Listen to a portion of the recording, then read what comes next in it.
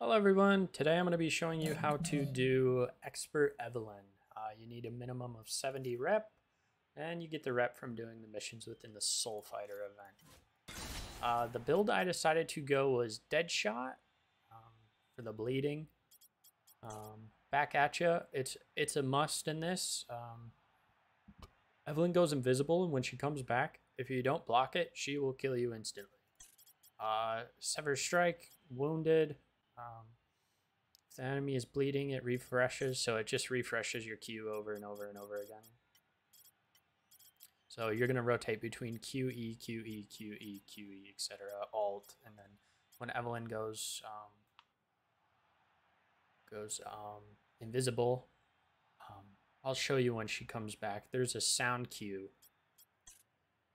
And then for my ultimate, I'm just going the base ultimate, Chaotic Daybreak. Uh, the reward for Evelynn is Soul Fighter Evelynn combat icon as well as a super stylish emote. So I'm going to start off with Q and then I'm going to E and then I'm going to Q again.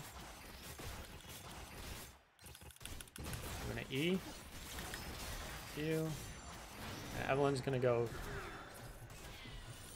and I don't know if you heard that sound cue, but it's like the music kind of steps up a little. And that's when you know that Evelynn is going to go invisible. And then you can just counter her. Super, super simple fight. And there you guys go. Uh, good luck with it. Um, if you have any questions, be sure to put them in the comments section. And don't forget to like and subscribe. Thank you very much.